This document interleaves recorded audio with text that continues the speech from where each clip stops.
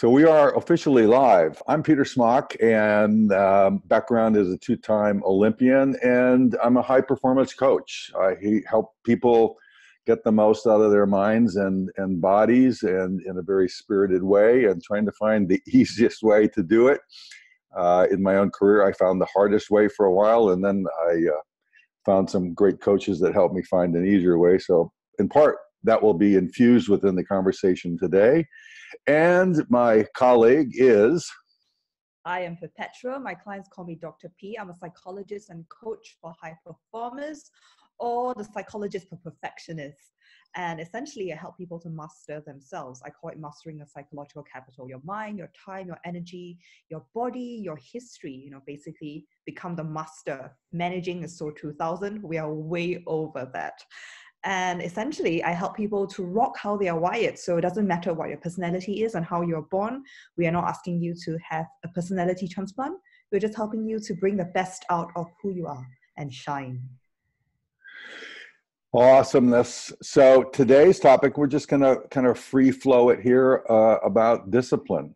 And um, it came up in a conversation we had uh, a little bit ago and like what is it and how does it serve us and maybe there's a different way to look at it um, and how it has ramifications in our life that are positive like pluses and also negatives and we we want to try to stand on the plus side.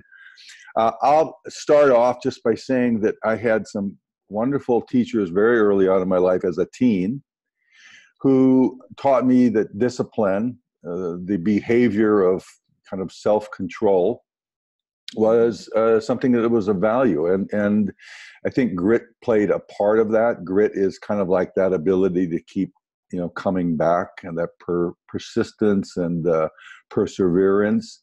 And i'm very was very very grateful for that because that was kind of the as as they say in baseball you know sports all have their cl- kind of cliche phrases. But in baseball they say their their uh, their work ethic. Uh, and so i think that having learned that early on it was a, a great foundational you know piece to be able to build on. But then uh, something else kind of evolved from there. What's what was your what's your personal experience of early on in, in of discipline and being disciplined well, for me, it's always been a battle with discipline, and therefore, you know, I found our conversation earlier on so intriguing. Um, so, coming from a Chinese family in Singapore, it's always about having discipline, working hard, having that very strict work ethic. But there was also a part of me that rebelled, you know, maybe because I have ADHD, so it's hard for me to focus. So, essentially, you know, I was always trying to find my way towards what we call life hacks today, or Tim Ferriss would call hacking your way, right? So I was always finding my little hacks here and there to realize that I could actually achieve more in less time and with less pain. Except that across the years, I never really honored how much I had accomplished because for me it was about the actual hours. So it's like i used to beat myself out that i'm not working as hard as everybody else in terms of absolute hours. So i would think i had no discipline. And i guess as well you know a part of me was also rebelling against my father as a child. You know he would always be telling me you need to be more disciplined. And i was just like nope nope nope. And one day it really hit me that actually i'm a lot more disciplined than most people give me credit for most or that I would give myself credit for to begin with. And I started looking at different parts of my life and decided, you know what, like I, I want more structure. And so I started working out almost every day. I started walking about seven kilometers daily average outdoors. And I started intermittent fasting. And having that structure in my life in the last nine months has actually made me feel a lot more in control of who I am and walking my talk in terms of mastery.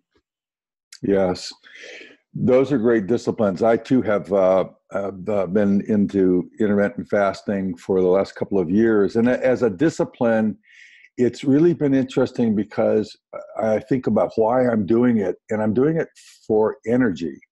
I'm not doing it for health. Uh, it's simply to feel better more consistently. So I think that one of the the kind of um, segueing back to where I was coming from earlier is is you know how does it how does discipline affect you uh, and kind of creating those regimens that affect you energetically in a positive way. Mm-hmm. And I, I think discipline has a, a very, uh, like I said earlier, has had a very positive uh, effect on my life uh, early on and, and still does today. And I think that a great deal of people in my in my view, especially the young kids who I see, could use more of it, uh, especially the disciplines around you know taking care of themselves and and and kind of what is it what do they need to do to kind of fill the uh, the soul of their energy and and their their mind and to be more at peace and at calm. You know what are those things if there's an intention to to live a, a better more energized uh, fulfilling life what are those things that they can do on their own that take um, uh, that take time uh, but you know fill you that that give to you? And and i think that that's a discipline and that takes time and it takes you know a great deal of of uh, compassion for oneself as you learn those uh, learn those new disciplines and habits and i know it was hard for me. You know uh, you know to have compassion sometimes when i would fall off excuse me the, the, the wagon if you will in, in terms of the discipline but I think it it for me it, it started to to resonate a little bit more about the discipline that it, it has its sways, it has its it, it has its ups and downs. And I don't mean up and down meaning a negative, ups and downs meaning kind of cyclical, that sometimes it's great to have the discipline to to push and to uh, work harder hour or longer hours and to you know get your exercise in every single day because you've been doing it but I also learned that uh, there, there were some times when that didn't serve me. And so, as a hard and fast rule of, uh, for me, of always pushing and, and staying in tune and alignment with my discipline as I thought of it, the consistency, uh, sometimes wasn't warranted. And sometimes it wasn't the best to give me the most energy or the most uh, the, the, greatest sense of you know fulfillment or um, you know just feeling good and, and performing better, especially in the in the performance basis. So I think that that was the the kind of the next step up with, with uh, discipline is learning that sometimes it's it's it's not just a consistent uh, linear line upwards. Mm, absolutely. I think, you know, what we were talking about that really resonated was how being good to yourself, as you put it, you know, for people who cannot stand word compassion or kindness, is a form of discipline. It's something we need to know and learn.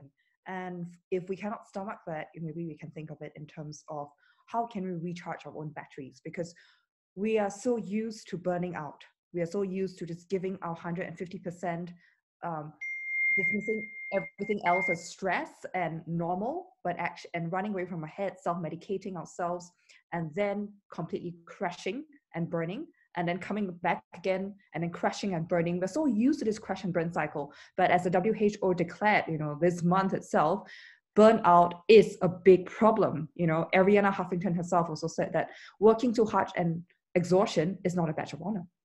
And so, you know, like coming back to this, most of us have phones, right?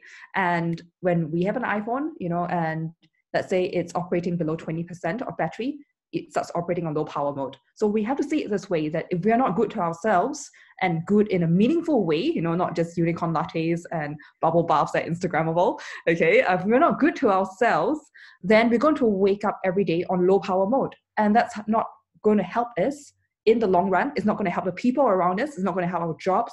It's not going to help us have meaning in our lives. And so if we can contextualize it that way for my most of my clients, when they reframe it that way, they actually learn that, you know what, there's a reason towards being good to myself. There is a meaning and value towards it. And so there's a science behind it, and then they start start getting on board with it. And so, you know, Peter, how about you tell us about you know, um, what are the different aspects of being good to yourself as a form of discipline? So, what should people always look up for? Well, I think of di- discipline uh, for me now is the ability to use uh, grit, you know, to use perseverance, to push hard, to, to work uh, hard, but also the discipline to know when it's not serving me. So discipline now has t- two meanings for me. And um, it ends up being that there's a, a discipline to an alignment of what's good for me, what makes my life work better. And in athletics, it was that uh, the discipline was for um, performance. How do I perform at the highest level, the most consistently, as opposed to who was who worked the hardest? And I was in the camp uh, likewise of like, oh, everybody's working harder than I am. I, I need to train harder. I need to lift more, and I need to throw the shot more.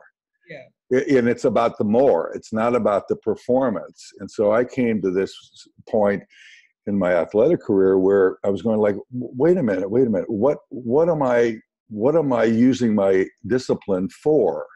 Is it to work or is it to improve you know my my performance in my life now is it is it to to work harder or is it to um, improve the lives of my clients or or my life or or come at a place come from a place of greater ease and, and clarity and so that discipline now has kind of different vector points. It's the ability to push and the ability to say no to things that are not in, in my favor. Um, that if I don't feel uh, good, if I have a sore throat, uh, I'm not going to go work out. I'm not going to go get on my bike. I'm going to take a nap. Uh, that's in service of my performance. So I think for people to start thinking of discipline uh, as it could be applied in a, in a different way and that is that some days less uh, is can give you more.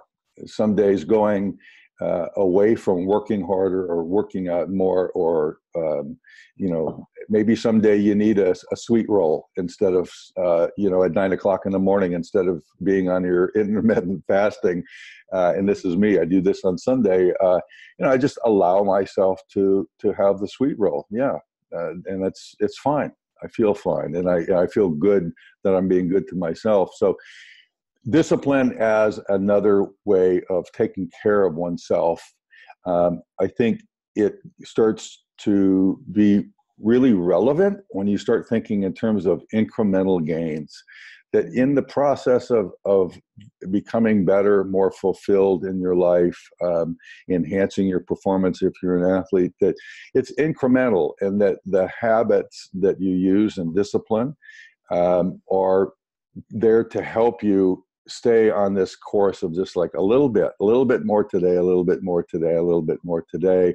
And I'll, I'll, I'll end this uh, little piece with a, a client who's a CEO and that has started working with me. And we have this workout plan that he's doing, and um, he was involved in, in investor uh, acquisition and in a conference back east and, and traveling a lot and, and doing a big deal with uh, a large uh, software company. And, you know, he just didn't have the energy, but he got up and he stretched we have some of these stretching kind of ritual movements in the morning. And he did those in the morning and going like this is enough. This is what i have to give to this today. I can't do the full 30 minute workout but i can do this for for 5 minutes. And that discipline just incrementally was enough to kind of feed him and to keep him coming back. Totally. You know i think like just to backtrack a little bit what you're basically saying and to reiterate that would be the importance of not doing something blindly to be very aware of what drives you. So you know for instance it's not about doing more and comparing yourself to the absolute number of hours everybody is doing something. How do you know they're not doing things blindly as well? You know it's so easy to do anything in this world for any reason because it's trendy because somebody told you to do that. But if you look deep inside yourself you know like some days you need a sweet roll. Some days i go for 17 course tasting menu because i want to it's not going to kill me it's going to actually make me feel better because the dopamine is going to start to flood my brain okay? And i'm going to feel like wow this is a sweet reward. I'm going to keep at what i'm doing because mm. it's worth it you know? And the second thing when you talk about incremental steps i think that's so important because we often forget the context that we are in so we just keep pushing ourselves and we are so black and white inflexible. And then we get really punitive with ourselves. And we all know that when we are nasty to ourselves, our fear center, our amygdala, and our brain starts firing away like crazy. We get really angry. We feel like we're under threat. Cortisol, adrenaline starts to surge. And we just don't feel good. We feel, we are tight, we're anxious. It's a terrible thing to do. And I just love how, you know, your CEO was just stretching because I think about how I tell my clients that when you're on holiday and you cannot do anything, go for a walk instead, you know, or don't get a driver, walk a little bit more. Right. And so when I'm on holiday, I don't have my kettlebells. I do a workout according to my own body weight, and it works. And that's a really relevant with regards to how I always teach my clients. You know, like it's so easy to think I can just read all the books I want in the world and buy all the online courses. But why is it that we all don't get shit done? is because everything feels so overwhelming unless you make it incremental. So how I always describe work, working with my clients is you imagine this: you buy a gym and it's great. It's good soundproofing. It's got good ventilation. It's got lovely smells but you're not just going to chuck all sorts of shit inside all sorts of crazy equipment. You're going to curate the equipments that are the best and suited to your body. So every week, you're going to add in one equipment, learn it well, and then we're going to add the next one. So everything's on autopilot the next time you do it. So the mental gym is how I call any kind of work. And you know, I think that's so important. It's a metaphor in terms of incremental steps. Yes.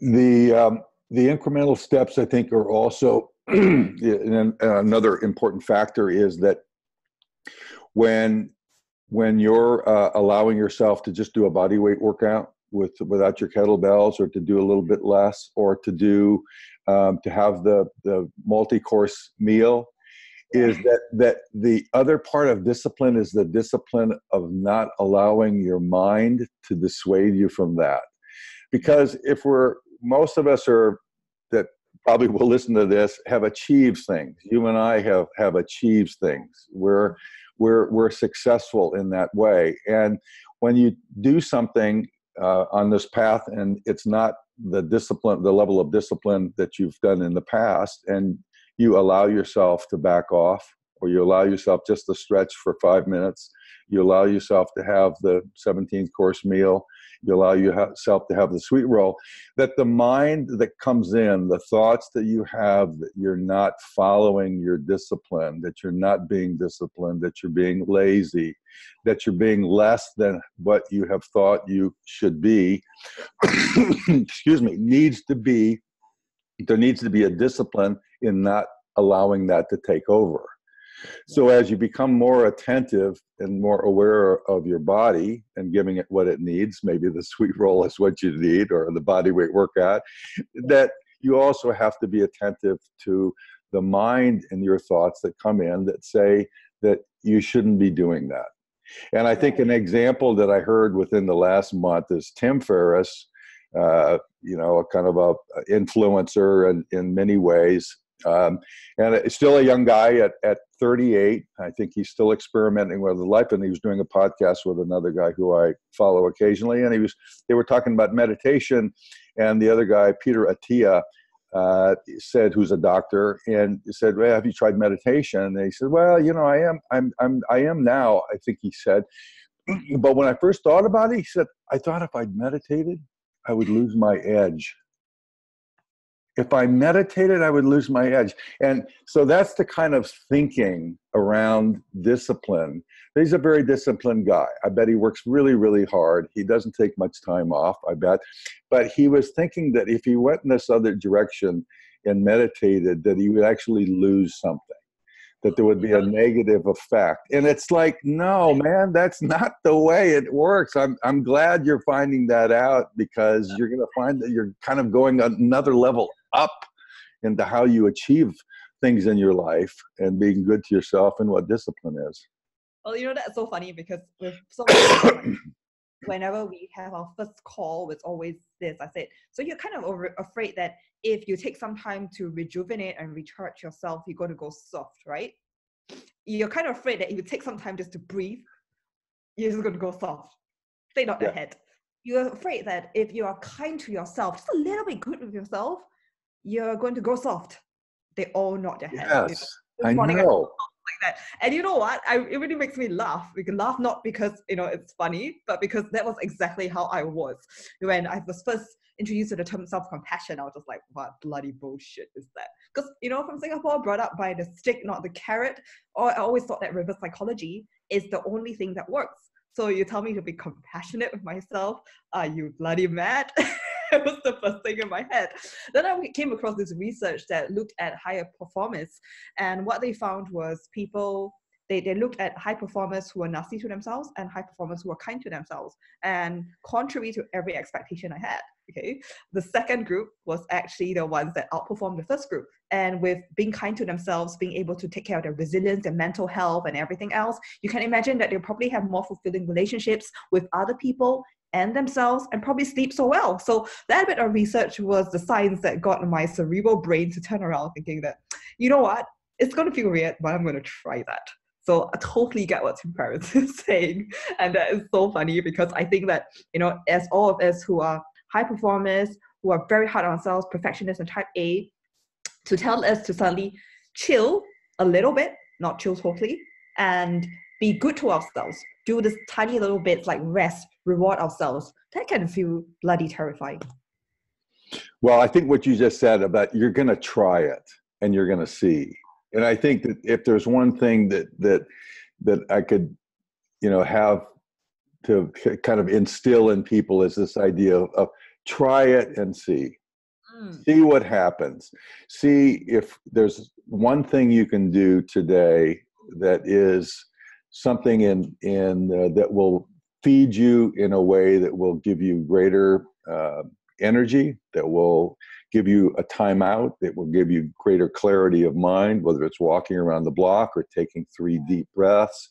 Something that puts a wedge into this idea that you have to keep going at a at a at a high speed level of of doing and see what happens um, literally i I the biggest thing that I can share is that it comes from my performance that I was about a year away from my making my first Olympic team. I didn't know I was going to make it. And I would get so angry at myself.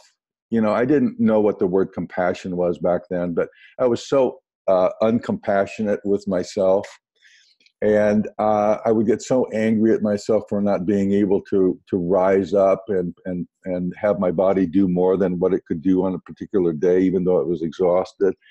And in that time period, which was about two years, um, I had the the results were were flatline. I had made no progress. So I was kind of on autopilot. I was working really hard, thinking I needed to work harder. I was lifting more weights. I was throwing more often. I was disregarding how my body actually felt. And then I was getting pissed off at myself because I, I couldn't live up to the standard that I wanted to. And um, when I started to meditate, I started breathing exercises. When I started to follow some other teachers and mentors and, and some books that kind of landed in my lap from the great, you know, the gifts from the great whatever, uh, I started to find a way to to have more time out, to vary my workouts more, to have easier days, to rest more, to recover, and to be more mentally at peace with myself. So when the voices came up that said, "Oh no, you need to do this. What is wrong with you?"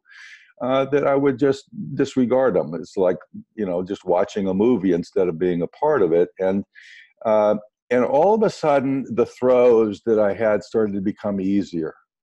And there was more rhythm to the and my internal messaging was much more quiet and and pleasant to, to myself. I was being more compassionate to myself.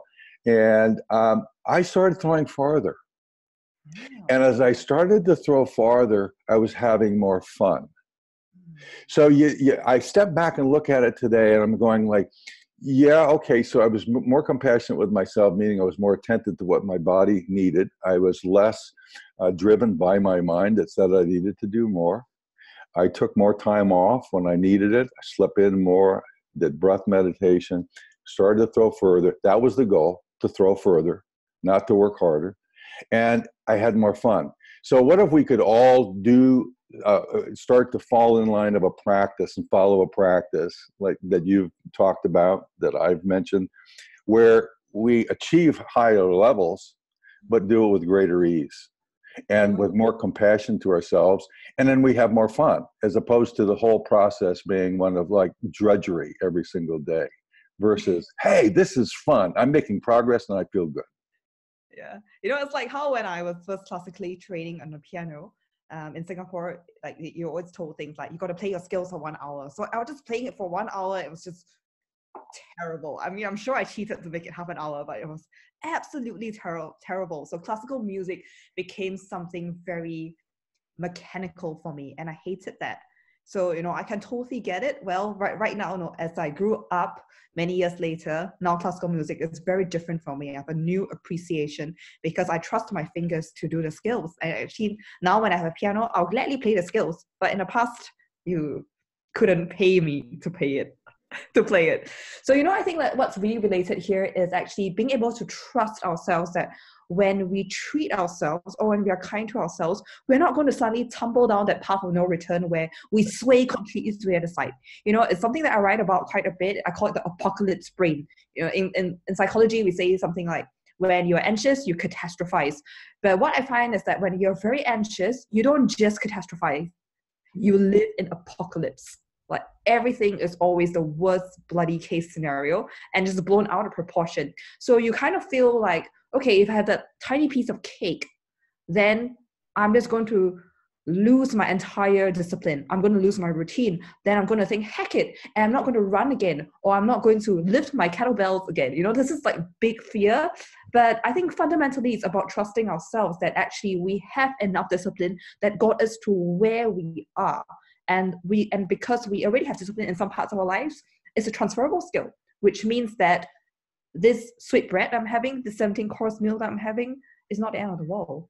It's actually going to propel me towards appreciating myself and saying thank you for actually being where i am today. And so i'm going to keep working towards bringing myself to greater heights and bringing the people who have supported me along with me Yep, I just you know big thumbs up. That's, such a right on, right on way of explaining it. Um, incremental gains, um, being kind to yourself, um, all of these things that you've said that I've mentioned are part of just a, a life practice. I'm mm-hmm. still practicing.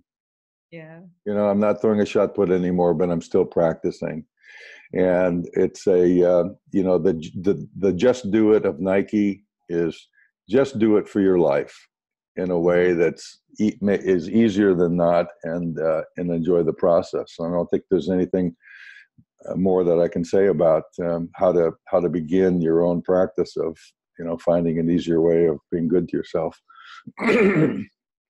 Absolutely. And you know what? I, then I would like to talk about having a nap because remember we did talk about mm-hmm. that and mm-hmm. how important it is. So we all know that sleep, deep sleep is important because every day when whatever we do, imagine you step out of a house into a cafe, there's a lot of stimulation.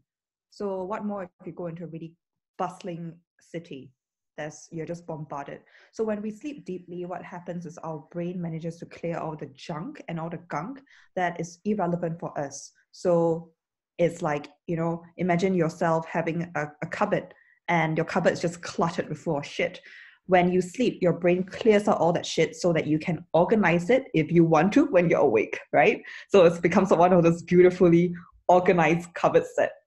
right. hashtag porn, you know, on Instagram, right? Mm-hmm. Okay, things like that make me very excited. So we know that sleep is really important. At the same time, naps are also really important, even if we don't just launch straight into deep sleep. And so, you know, why don't you share with us about, you know, your napping philosophy? Well, naps became an integral part of my my life uh, during my my days of, of competing, and it was that every day um, I would take you know probably longer than I do today, probably a, a nap that was thirty minutes, maybe even forty five minutes, and that was you know typically right around one o'clock, one o'clock to two o'clock. The training session started in the afternoon, a little bit later. So uh, and and I they were just rejuvenating. And the other thing, they were rejuvenating in a way that got me out of my head. So it was like one on one uh, on one level, it was like this was restorative. This was a, a moment of resting my brain and resting my body. On the other hand, it was kind of a, a wedge into my day that I would stop thinking about what I had done and what I was going to do. I didn't use naps as a as a, a moment to think about things. I used it, uh, little did I know at the time, as a wedge. And it was a wedge in between the kind of the continuity of the entire day. And it gave me greater perspective. It, great, it gave me greater insight. It, great, it gave me a greater sense of, of being in touch with my body. Like, what did it need? You know, do you need more fuel? Do you need less? And so naps have been a part of my life ever since. Uh, I don't you know i don't need you know, 45 minutes you know 20 minutes laying on a i do it where i lay on a on a hard floor like a yoga mat where i work. Uh, i don't fall into rem sleep. Uh, you know i don't fall into the level of sleep where you get up and you're groggy and you're kind of irritable. It's just enough to to kind of pull away from uh, you know kind of daily uh, consciousness and all of a sudden like 20 20 minutes later, 25 minutes later, it's like get up and like, wow, I feel great. I'm I'm ready to go on to the second half of my day, and uh, and I have never, fortunately, I have never thought of that I am being unproductive during this. Like, no, this is needed. This is this makes me better. so I'm gonna I'm gonna do it. I'm gonna fight for it wherever I can. Absolutely. I mean, I think that, you know, naps have such a bad name as though we are lazy. And you just think about it in terms of restorativeness. What I realized is that in my life, whenever sometimes I feel a bit like car sick, because I do get motion sickness, especially if I have to direct, direct, I have to give directions at the same time. And I'm terrible at directions, right? So it gives me a headache. Then I get motion sickness. And then I know I feel terrible. Or there was even this time when I knew that I was going to fall sick um, I was starting to run a temperature and I was in Disneyland. So, you know, that's not, I was at Disneyland celebrating the completion of my last ever thesis. So, you know, that's not a day when you want to actually fall sick. So I told my friend, you know what? I feel my body shutting down. So you go take one ride. I'm going to hide in a dark theater and I'm going to nap for 10 minutes. And you come look for me after that because I knew from experience that the moment my body just drifts off into a nap and I wake up, I'm much better. So basically, every time whether I'm having car sickness or when I know my body is shutting down, I just go somewhere and hide for 10 minutes and I come back alive again. How do you, how does that happen? How do you think that, not that, not that it's, the bottom line is that it works for you, but how does, how do you think that happens? How do you think that works? Because i think that you know when i can feel everything shutting down or when i can feel myself being really tense because for instance i am having motion sickness i start to feel a bit panicky because nobody wants to be motion sick mm-hmm. right? Or you know like oh for instance i'm in disneyland and i paid so much money to get in. I'm celebrating the end of my thesis. I don't want to disappoint my friend. We've woken up so early to take the train all the way in. So all these thoughts start piling up in my head. So i know that once i nap my brain shuts down and I get to come back into my body. I stop panicking. And then that's when the magic begins. So of course, you know, I think like my cells are doing maybe a very, very quick, you know, instantaneous cleanup or whatever they're doing. But I know that when I wake up, I'm okay. It's a very strange thing, but that's like, you know, when you talk about naps, it really attests to how much I totally glorify naps. Well, and the fact that you have that turnaround in a, in a short period of time, I mean, what a huge, you know, gift of a practice, knowing that you can do that. I mean, that that is so, you know, if everybody listens to what you have to say and, and can apply that just once this next week and to see what uh, what what happens with that, that's a profound way of of kind of uh, realizing your how to feel better and and and your best self uh, in, in only 10 minutes. I mean, it doesn't take much time. Yeah, I know. It's like when you find a way that you can heal yourself, it's basically you spend the time to buy more time back. So, for instance, you know, like some, I don't, I'm very lucky that I have designed my life in a way where I don't need to work crazy hours every day. But on some days, you know, maybe I'm writing or I've got a lot of different things to do different errands in my personal life. So I get really busy and I think I just have to keep charging on. But what I realized is as long as I spend that time, that 10 minutes to nap, I buy back more time. I buy back my vitality. And actually, instead of running on low power mode, for six hours, I'm actually running at 80%, 90% battery just by napping for that 10 minutes. And that makes a hell of a difference again. So, you know, I think that quite often we just think we got to keep charging to the finish line. We think that to pause is a sign of weakness, but actually it isn't. It's a bit like, you know, how I watch some sports strategies and it says that, you know, initially what you can do is you run a bit slower. And sometimes, even in terms of, say, a kind of tactical game or strategy, everybody thinks that you're really slow. And then during the last bit, you totally sprint because everybody's tired. They mm-hmm. think that you are floundering behind and actually you've been conserving your energy and then all the you go all the way to the front and you win it. So in the same way you know it's all about spending this little bit of time whether it's napping or breathing. I always tell my clients this. If you have time to go to the bathroom if you have time to touch your phone to check instagram then you've got time to breathe. And that's something no one can argue no you can't argue with that. And i i would just uh, probably probably leave with saying what I, uh, my CEO uh, client, uh, who's also a marketer, was saying about this this process. Uh, my my brand is called Life Athlete, and and about this uh, step up in achievement. He said, you know, we've all learned to work and achieve at at a foundational level by pushing and by working really hard. You know, having the discipline to to go beyond what our minds and our body uh, say that we can. He said, but I, I have always believed that there was another there was another level. Mm-hmm. I always believed that. So is this all there is? Uh, as a question, and then no, I don't think that there is. But and his description of it was this ability to uh, be aware of ourselves in a more kind and compassionate way, uh, to do things incrementally, and that that was the way to the next level up. So it was you know in terms of an evolution of of how one achieves or performs in life that that was the foundation uh, just being disciplined and working hard and then there's the next step up. Yeah. And that that step is you know allowing yourself to uh, you know to take the nap and to give to you and not buying in that uh, you know that exhaustion is a, a status symbol. And that uh, has made such a difference in his life and it made you know i already described made a huge difference in my life. So i think there's anything that uh, I, i'm hoping that people get out of what we're talking about what we're sharing today is that uh, it's there is a next level up if you if you are willing to you know to just taste it you know take that five minute nap take those three breaths instead of looking at your instagram account and see what the effects are and know that you know that life can be a lot easier and you can still excuse me perform at a very high level. Absolutely i mean like this is totally redefining discipline the jedi way.